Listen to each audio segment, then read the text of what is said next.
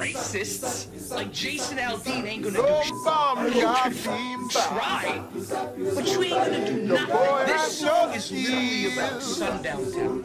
It is the purest form of racism. And trust me, Jason Aldean ain't the only one that's thinking like this.